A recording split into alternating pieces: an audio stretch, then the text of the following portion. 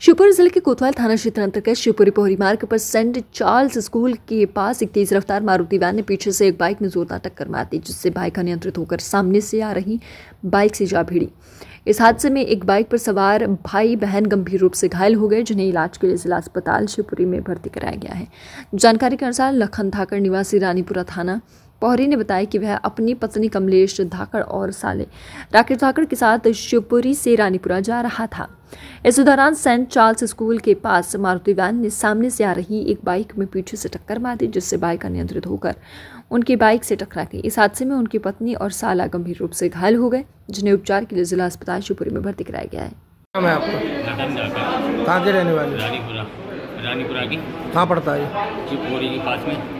पौनी पौनी थाना लगता पोरी थाना पोरी लगता है। है ये दोनों कौन है आपके? ये मेरी वाइफ है वो मेरे साले साहब क्या नाम है दोनों के?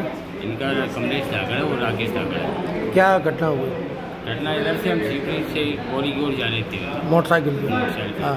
तो एक बाइक वाला मतलब उधर से आ रहा था। उसके पीछे ही जस्ट लगी हुई गाड़ी आ रही थी। कौन सी गाड़ी थी? मारुति बहन थी। हाँ। तो उसने उसमें टक्कर मारी वो बाइक वाले ने हमें टक्कर मारी। मतलब हम तो साइड से नीचे भी हुए थे। अच्छा तो ये दोनों घायल हुए हाँ? ये दोनों गाड़ी